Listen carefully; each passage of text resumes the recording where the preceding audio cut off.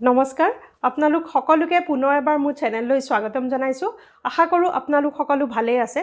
আজি যিটো ভিডিঅ' আপোনালোকৰ মাজলৈ লৈ আনিছোঁ সেইটো আমি কথা পাতিম গাৰ বিষৰ ওপৰত। বহু লোকে হয়তো ভুগি আছে এই বিষত বিভিন্ন বিষত ভুগিব পাৰে হাতৰ কঁকালৰ পিঠিৰ ভৰিৰ যিকোনো মাংসপেশীৰে বিষ হ'ব পাৰে। আৰু বেছিভাগ সময়তে আমি চিন্তিত হৈ পৰোঁ যে আমাৰ শৰীৰৰ ভিতৰৰ কিবা ছিষ্টেমৰ খেলি মেলি হৈছে নেকি বা তেজৰ কিবা খেলি মেলি হৈছে নেকি যাৰ বাবে আমাৰ গাবোৰ বিষ হৈ থাকে। কিন্তু বেছিভাগ সময়তে দেখা যায় যে এই বিষবোৰ আমাৰ মাংসপেশীৰ লগতহে জড়িত। আমাৰ মাংসপেশীক ভাল ব্লাড চাৰ্কুলেশ্যন অৰ্থাৎ তেজৰ চলাচলৰ প্ৰয়োজন হয় তেতিয়াহে তাত অক্সিজেন লেভেল পায়। যদি মাংসপেশীত তেজ চলাচল কমি যায় তেতিয়া আমাৰ অক্সিজেন লেভেল মাংসপেশীলৈ কমি যায় আৰু তাৰ ফলত আমাৰ মাংসপেশী ভাগৰুৱা হয় আৰু সেইবাবে আমাৰ গাৰ বিষ আৰম্ভ হয়। এই বিষবোৰৰ পৰা পৰিত্ৰাণ পাবলৈ আমি অতি সহজতে কেইটামান এক্সাৰচাইজ কৰিব পাৰোঁ। এতিয়া এক্সাৰচাইজ বুলি ক'লেই হয়তো বহু লোকে ভয় খাই যায় যে বহুত সময় দিব লাগিব। আমি এক্সাৰচাইজ কৰিবলৈ টান পোৱা মেইন কাৰণটো হৈছে যে আমাক সময় লাগে। দ্বিতীয় কাৰণটো হৈছে যে আমি প্ৰিপেৰেশ্যন কৰিব লাগে। আমি মেটখন ল'ব লাগে আমি আজৰি হ'ব লাগে আমি মেটখনত শুব লাগে বা বিচনাত পৰিবগৈ লাগে এক্সাৰচাইজখিনি কৰিবলৈ। আৰু সেই সকলো প্ৰব্লেমৰ পৰা বা সমস্যাৰ পৰা আপোনালোক বাচিবৰ বাবে যাতে সহজতেই য'তে বহে তাতে কেনেকুৱা ধৰণৰ এক্সাৰচাইজ কৰি পেলাই আপোনালোকৰ সৰ্ব শৰীৰৰ ব্লাড চাৰ্কুলেশ্যনটো ঠিক কৰি ৰাখিব পাৰে আৰু লগতে কেনেধৰণে এই বিষবোৰৰ পৰা পৰিত্ৰাণ পাব পাৰে সেই বিষয়ে আজি এই ভিডিঅ'টো মই আপোনালোকলৈ আগবঢ়াইছোঁ। ইয়াত কেইটামান অতি প্ৰভাৱশালী এক্সাৰচাইজ মই দেখুৱা দেখুৱাম আৰু এই এক্সাৰচাইজকেইটা এইটো কাৰণে সহজ হৈ পৰিব কাৰণ আপোনালোকে চকীত বহিয়ে কৰিব পাৰিব। আৰু দ্বিতীয়তে হৈছে এই এক্সাৰচাইজকেইটা সকলো লোকেই কৰিব পাৰিব। আপোনালোকৰ শ্লিপ ডিস্কৰ প্ৰব্লেম থাকক আঁঠুৰ বিষৰ প্ৰব্লেম থাকক পিঠিৰ বিষৰ প্ৰব্লেম থাকক যিকোনো প্ৰব্লেম থাকিলেও এই এক্সাৰচাইজকেইটা কৰিবলৈ আপোনালোকে কঠিন নাপায় কাৰণ এইকেইটা তেনেই সহজ এক্সাৰচাইজ আপোনালোকে বহুতে হয়তো জানেই যে মোৰ এখন ফিজিঅ'থেৰাপি ক্লিনিক আছে মই ফিজিঅ'থেৰাপিষ্ট হয় আৰু মই বহু পেচেণ্ট এনেধৰণৰ চাই থাকোঁ যিসকলে বিষত ভুগি থাকে।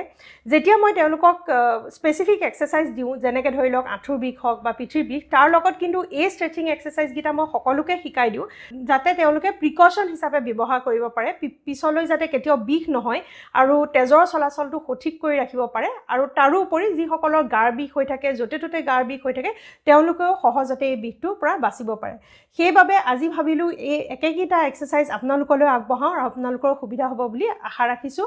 যদি ভাবিছে আপোনালোকে এই এক্সাৰচাইজকেইটাই সহায় কৰিব বুলি তেনেহ'লে শ্বেয়াৰ কৰিবলৈ নাপাহৰিব আৰু লগতে চেনেলটো ছাবস্ক্ৰাইব কৰি থ'ব দিনটোত কেইবাৰকৈ কৰিব পাৰিব দুবাৰৰ পৰা তিনিবাৰলৈকে এক্সাৰচাইজখিনি কৰিব পাৰিব বা এবাৰ কৰিলেও যথেষ্টখিনি ফল পাব বুলি মোৰ বিশ্বাস।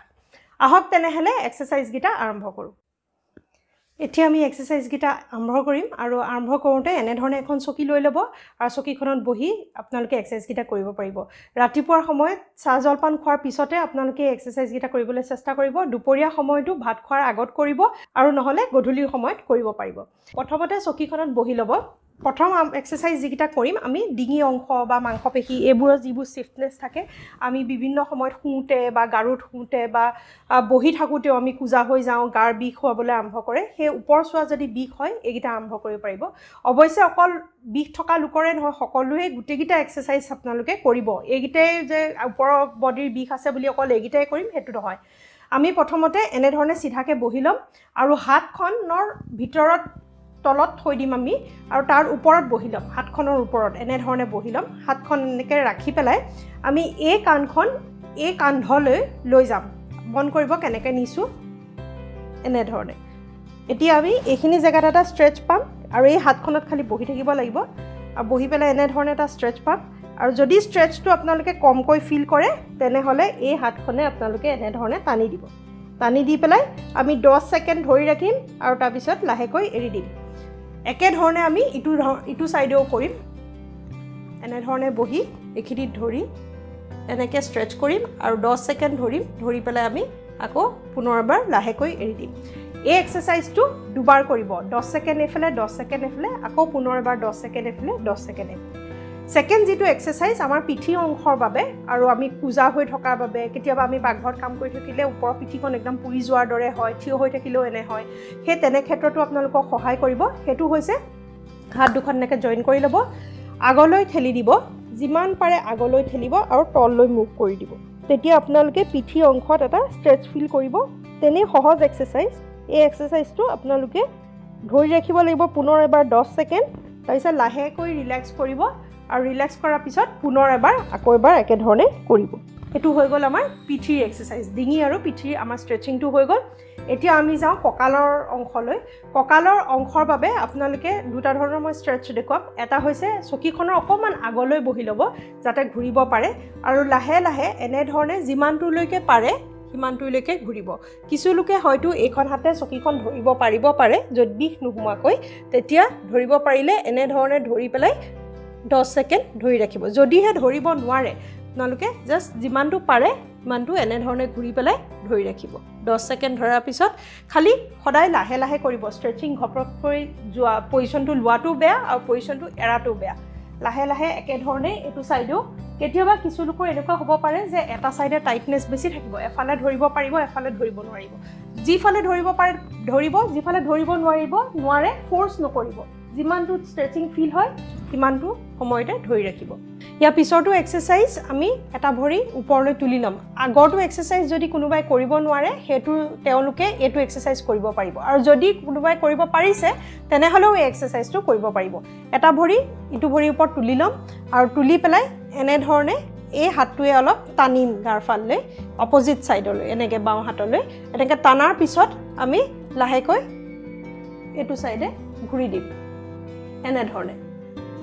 ইয়াৰ পিছত আমি ইখন ভৰি ইটো ভৰিৰ ওপৰত তুলিম আৰু যেতিয়া আমি বাওঁ ভৰিখন ইটো ভৰিৰ ওপৰত তুলিম তেতিয়া সোঁহাতে আমি টানিম আৰু বাওঁহাতে আমি ঘূৰিম।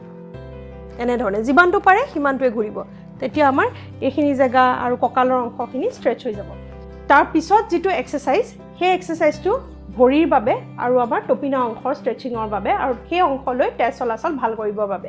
সেইটো হৈছে আমি এটা ভৰিৰ ওপৰত ইটো ভৰি এনেধৰণে বেকাকৈ তুলি ল'ম।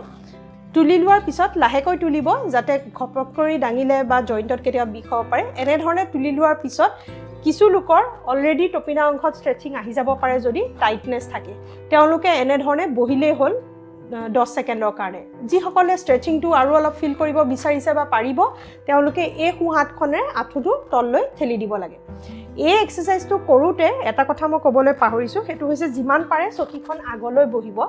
তেতিয়াহে বেছি ভালকৈ ষ্ট্ৰেচটো ফিল কৰা যায়। এনেধৰণে বহি লৈ আপোনালোকে এনেধৰণে ঠেলি দিব আঁঠুটো তললৈ। আৰু তাৰপিছত তেতিয়া এটা ষ্ট্ৰেচ পাব টপিনা অংশত আৰু তেনেধৰণে এই ষ্ট্ৰেচিংটো দহ ছেকেণ্ড ধৰি ৰাখিব। একেধৰণে আপোনালোকে বাওঁ ভৰিখনটো কৰিব লাগিব।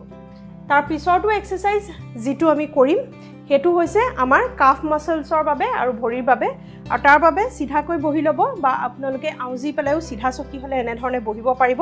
আৰু তেনে সহজতে ভৰিখন ওপৰলৈ দাঙি পেলাই ভৰিৰ আঙুলিকেইটা নিজৰ গা ফাললৈ টানি আনিব। এনেকৈ টানি আনিলে একদম তলটো টানি ধৰা নিচিনা হ'ব কাফ মাছলছকেইটা খালি চিধাকৈ বহি থাকিব লাগিব।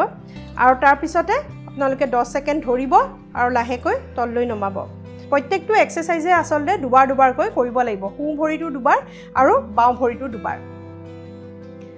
ইয়াৰ পিছৰটো এক্সাৰচাইজ আমি হাত দুখন আঁঠুৰ মাজত থৈ ল'ম। আৰু থৈ লৈ পেলাই আঁঠু দুটাই এনেধৰণে চেপা মাৰি ধৰিম। দহ ছেকেণ্ড ধৰাৰ পিছত আমি লাহেকৈ এৰি দিম। অকল এই এক্সাৰচাইজটো আপোনালোকে দুবাৰ কৰিলে নহ'ব। এই এক্সাৰচাইজটো আপোনালোকে দহ বাৰ ধৰিব লাগিব। তাৰমানে এনেকৈ দহ ছেকেণ্ড ধৰি এৰিলোঁ আৰু দহ বাৰ ৰিপিটো কৰিব লাগিব এক্সাৰচাইজটো অকল এই এক্সাৰচাইজটোহে দহ বাৰ ৰিপিট কৰিব লাগিব। বাকী গোটেইকেইটা এক্সাৰচাইজে আমি দুবাৰ দুবাৰ ৰিপিট কৰিলে হ'ল। এইকেইটা এক্সাৰচাইজে আপোনালোক সকলোকে বহুতখিনি সহায় কৰিব। বহুত গা বিষৰ পৰা আপোনালোকে ভাল পাব। খালি ৰেগুলাৰ কৰিবলৈ চেষ্টা কৰিব আৰু দিনটোত দুবাৰ তিনিবাৰ এনেধৰণে কৰিবলৈ চেষ্টা কৰিব। যিকোনো এক্সাৰচাইজ কৰোঁতে যদি বিষৰ অনুভৱ হয় কিবা জইণ্টত তেনেহ'লে আপোনালোকে সেইটো এক্সাৰচাইজ এভইড কৰিব। কাৰণ পজিশ্যন কেতিয়াবা ভুল হ'লে জইণ্টত প্ৰেছাৰ পৰিব পাৰে।